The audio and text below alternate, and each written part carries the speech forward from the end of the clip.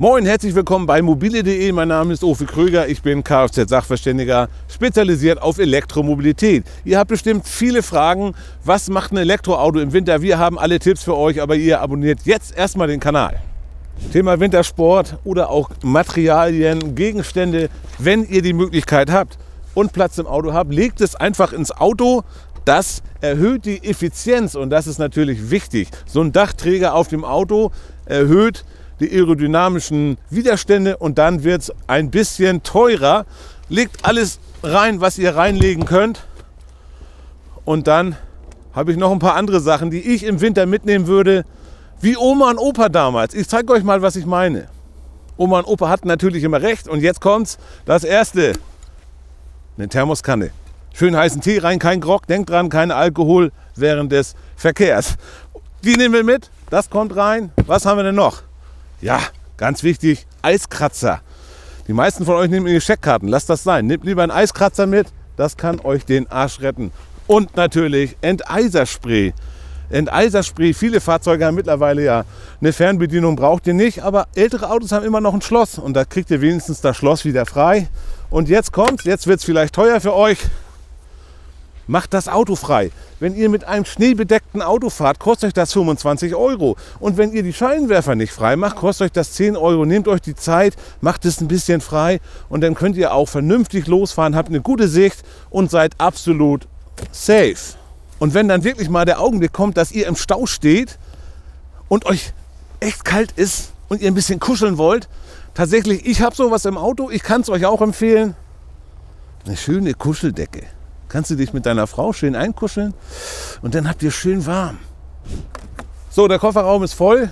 Wenn ihr allerdings ein Auto habt, was die Möglichkeit hat, das müsst ihr unbedingt prüfen, einen Dachgepäckträger zu benutzen, dann könnt ihr natürlich euren Weihnachtsbaum auch da oben transportieren. Das ist ja klar, keiner will die Nadeln im Auto haben. Denkt bitte dran, prüft die Dachlast und wenn ihr ihn nicht braucht, baut ihn bitte wieder ab, denn das kostet Strom und das kostet Geld. Aerodynamik ist wichtig in der Elektromobilität und jetzt kann ich endlich die Scheißmütze abnehmen, setze mich ins Auto und habe dann bestimmt noch ganz viele tolle Tipps für euch im zweiten Teil.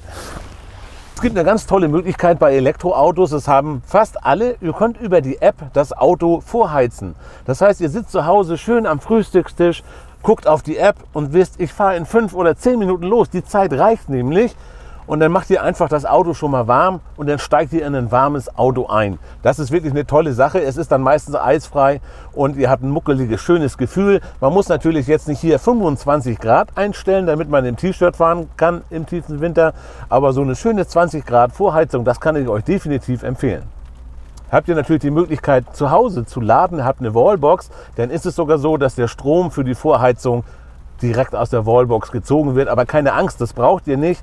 Das Vorheizen, das kostet wirklich nicht viel Strom und dieser Komfort ist einfach enorm.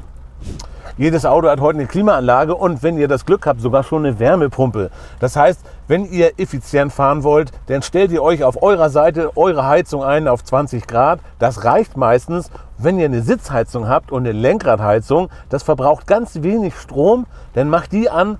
Dann ist es auf jeden Fall ganz easy möglich, reichweitenmäßig weiterzukommen, als wenn ihr hier 35 Grad einmacht, noch einen kleinen Saunaaufguss hinten drauf. Eukalyptus kann ich da empfehlen, aber so ist es am effizientesten.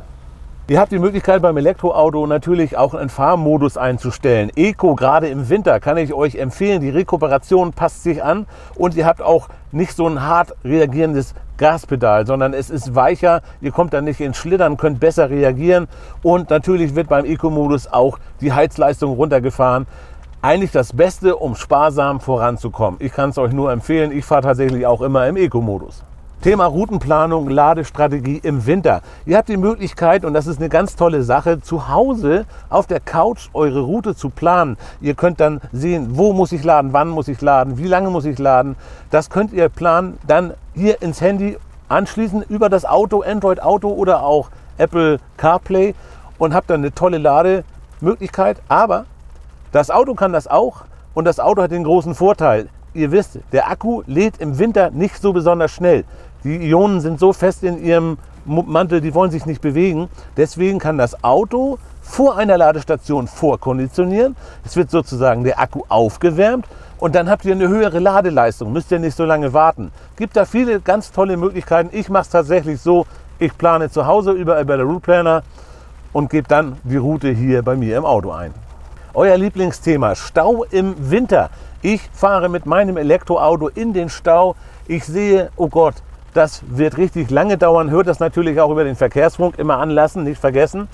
Und das heißt drei Stunden Stau. Was mache ich jetzt? Nein, das Auto geht nicht tot. Keine Chance. Ihr habt 1 bis 3 Kilowattstunden Strom pro Stunde, die ihr hier im Auto verballert, wenn ihr das schön warm habt. 20 Grad, ihr könnt hier sitzen, ihr müsst gar keine Angst haben. Denn euer Akku ist meistens 50 Kilowattstunden und größer. Das heißt, es ist überhaupt kein Problem. Habt ihr allerdings einen niedrigen State of Charge, das heißt, ihr kommt ans Stauende mit 10% im Akku, dann macht ihr hier entspannte 18 Grad und lasst die Heizung, die Sitzheizung laufen. Da könnt ihr locker 3, 4, 5 Stunden und noch länger im Auto sitzen, ohne Angst zu haben. Also die mehr, das Elektroauto, was macht ihr denn da im Stau? Die könnt ihr komplett vergessen. Das ist überhaupt gar kein Thema. Denn der Verbrenner neben euch lässt die ganze Zeit den Motor laufen und der verbraucht auch Sprit. Das ist nämlich genau das Gleiche, aber viel schlimmer, denn das Verbrennen von Kraftstoffen jeglicher Art ist nicht die Zukunft. Ja, und nicht vergessen, wenn ihr die Thermoskanne mit habt und auch die Decke, dann haltet ihr das noch viel länger aus im Auto. Opa und Oma haben immer recht gehabt, das wisst ihr ja.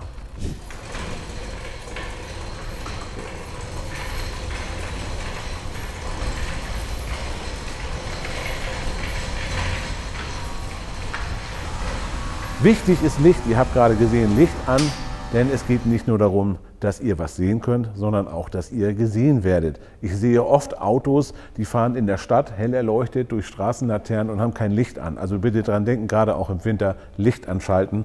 Ein weiterer Punkt, die geeignete Bereifung. Ihr habt eine Mindestprofiltiefe gesetzlich von 1,6 mm, aber ab 3 mm ist der Reifen eigentlich schon nicht mehr zu gebrauchen. Und es gibt mittlerweile super Hersteller, die bauen Reifen für Elektroautos, die sind effizient, die sind leise, haben einen tollen Grip. Macht euch da mal schlau, kann ich euch nur empfehlen, fahre ich auch. Reifen ist der einzige Kontakt für euch zur Erde. Das ist wichtig, da müsst ihr drauf achten. Seit 2016 fahre ich rein elektrisch. Wenn ihr das Vorrecht habt, zu Hause laden zu können, dann nutzt das bitte. Ich kann es bis heute nicht. Steckt das Auto an, macht, das, macht die Wallbox an und dann könnt ihr auch nicht nur das Auto vorkonditionieren oder vorheizen, sondern auch den Akku. Denn der Akku mag keine Kälte. Bei Kälte lädt er langsam. Ihr müsst euch vorstellen, in diesen Batterien sind so ganz viele Ionen drin, die sitzen da alle ganz eng, ja. Und nun sind es kalt, dann kuscheln die aneinander und wollen sich nicht bewegen. Wenn es warm ist, dann hat ein Akku eine ganz andere Leistungsentfaltung. Deswegen ist es gut, wenn ihr den Akku vorwärmen könnt.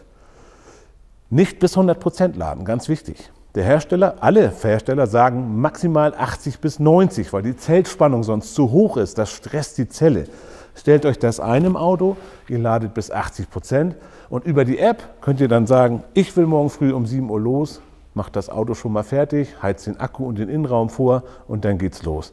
Wie macht ihr das zu Hause? Schreibt das bitte nochmal in die Kommentare. Habt ihr eine Wallbox? Habt ihr eine Garage? Was ist die beste Möglichkeit für euch, euer Elektroauto zu laden? Apropos Laden, ich gehe nämlich jetzt laden bei mir im Wohnzimmer. Vielen Dank, bis zum nächsten Mal. Ciao.